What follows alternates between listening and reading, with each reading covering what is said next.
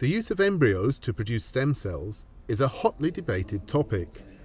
At a recent stem cell conference in London, scientists and laypeople were keen to put forward their views.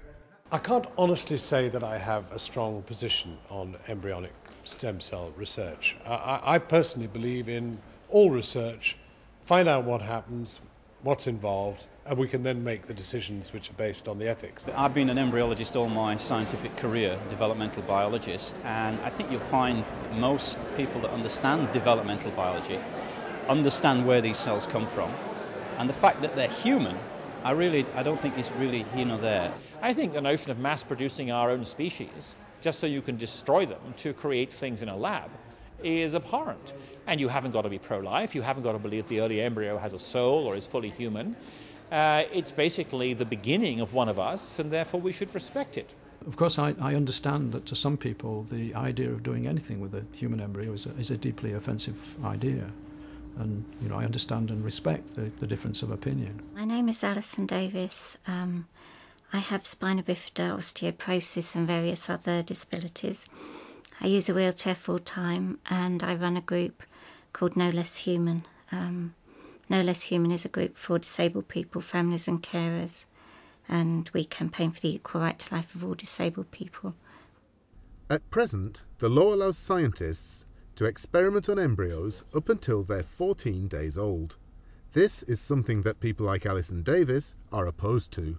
I think it matters what we do to embryos because they are human individuals. They are at the beginning of all their development, certainly. Uh, but if you say they're just a bunch of cells, then you're forgetting that I also am just a bunch of cells. So, so is every human being who exists. Um, it matters what we do to human beings because uh, we have a duty to protect the most vulnerable. But let's just consider the stage of development it's reached. It, it's so small, it's smaller than a, a grain of sand.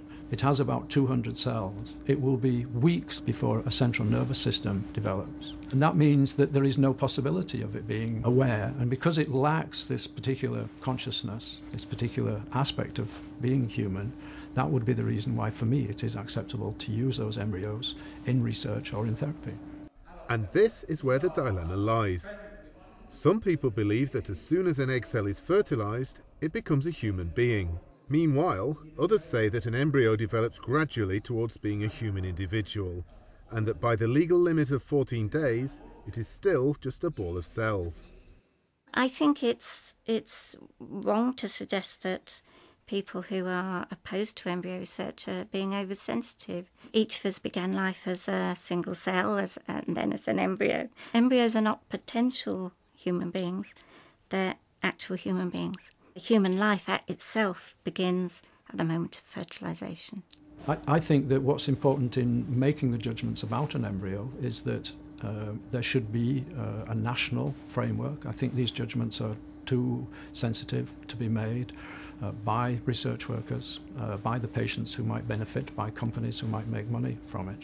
I mean, I'd be first in line for ethical stem cell research, and there are uh, ethical sources of stem cells which are already treating people with disabling conditions.